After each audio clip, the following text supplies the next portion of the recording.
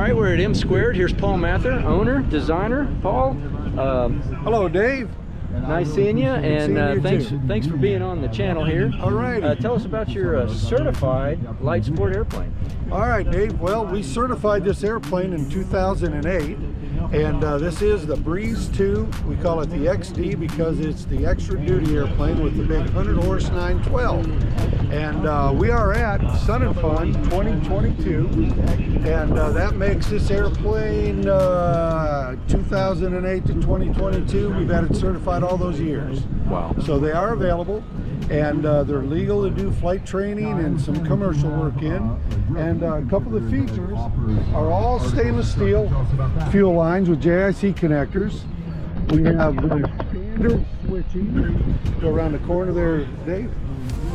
Which includes USB with voltmeter. It has all the switches for the strobes and headlights. Standard EIS, which is, uh, I'll turn on the master here. Oh, maybe it's on. It is. Master is on. So here's your EIS. And then of course I have the standard analog gauges for simplicity.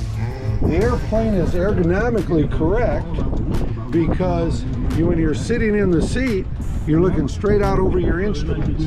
And uh, the switches are just above your head. Um, fuel tanks are in the wings and you can see the fuel level just from the seat so there's no expensive gauges required.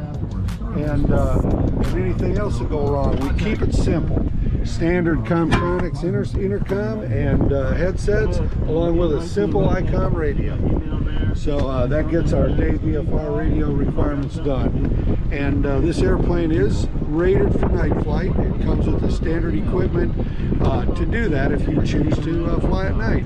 We like that sunset flight. That's Oh, what it's all about. That's the best time. Still perfect air. Well, that's beautiful. So there's the landing light mounted on the wing. Got the wing tip lights. Strobe light mounted on here. The aircraft is a aluminum tube, steel frame, and fabric airplane. So you can pick your colors and we manufacture them to your specs. This is the uh, ULS 100 horsepower 912, which is the most used air engine that we have. The uh, DUC prop is a optional prop, but it is the quietest prop in uh, our system. So we pretty much equip all of the 912s with the DUC prop. It has a large volume uh, oil cooler and a large volume radiator, so even in the hottest conditions, we never overheat. Wow. And the airplane comes factory built, ready to fly with an N number. That's amazing. Standard pricing right now starting at 40,000. This particular airplane runs 60.